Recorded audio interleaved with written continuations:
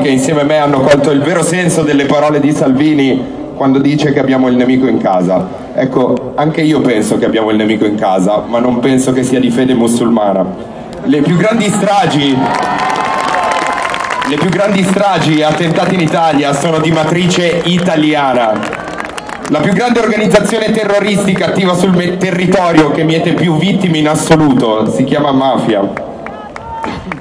E prima di chiedere a tutti i musulmani di prendere le distanze dai fatti di Charlie Hebdo, bisognerebbe chiedere a tutti gli italiani di prendere le distanze dalle stragi mafiose e dai fatti e gli avvenimenti di Mafia Capitale.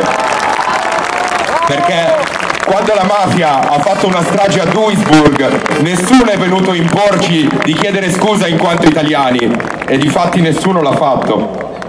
Ecco, io spero che questa eh, sia un vero evento di presa di coscienza collettiva e avrei voluto vedere meno simboli e bandiere per questo, sono sincero e impopolare. Perché spero sia veramente un evento che porti a qualcosa di concreto, perché l'unico modo per dire con orgoglio che noi siamo Charlie e non ciarlatani e avere il coraggio di puntarci il dito contro e... Eh, come dire e non è la, la solidarietà sterile delle foto su Instagram e Twitter, perché ricordiamocelo e non, di, non dimentichiamocelo mai, che il più grande nemico dell'Italia sono gli italiani. Grazie.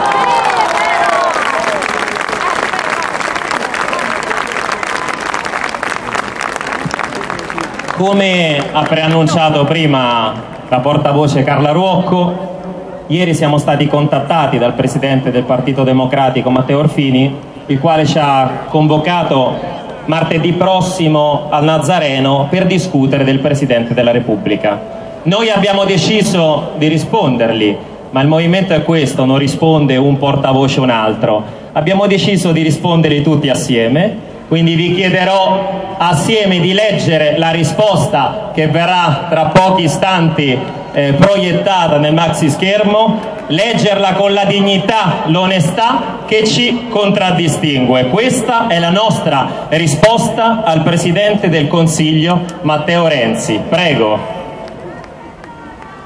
Caro Renzi, è il popolo italiano che le parla. Il Presidente della Repubblica non può essere di parte la sua figura di garante dell'unità deve essere rappresentativa e condivisa. Questo era l'auspicio dei nostri padri costituenti quando scrissero nell'articolo 38 della Costituzione che per i primi tre scrutini fosse necessaria la maggioranza di due terzi. Lei invece ha già deciso che il capo dello Stato sarà eletto dalla quarta votazione in poi, quando sarà sufficiente solo la metà più uno dei voti. In questo modo il nome del nuovo Presidente sarà espressione del volere di un partito solo, quello suo e di Berlusconi, il partito del Nazareno.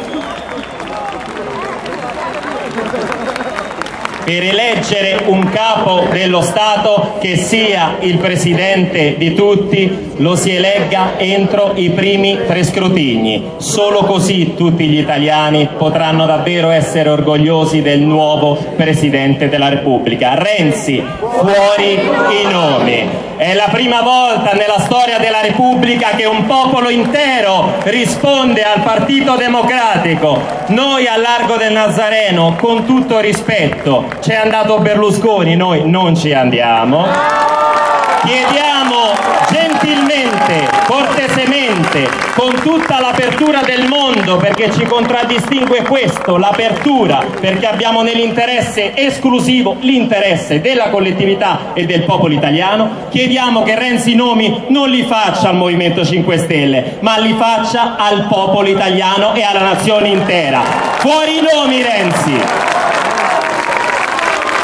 Fuori i nomi Renzi, è il popolo italiano che lo chiede, fuori i nomi, noi poi li sottoporremo alla rete e decideranno gli iscritti in maniera onesta e trasparente, non nelle segrete stanze del potere. Mafia Capitale è soltanto l'ultimo degli scandali, ma ripeto, spesso uno scandalo ce ne fa dimenticare un altro. In quest'anno, durante gli ultimi 12 mesi, sono esplosi altri due scandali.